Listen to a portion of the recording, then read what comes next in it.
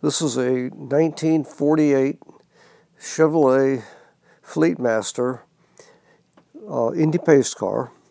This was made out of a 48 Ford convertible, believe it or not.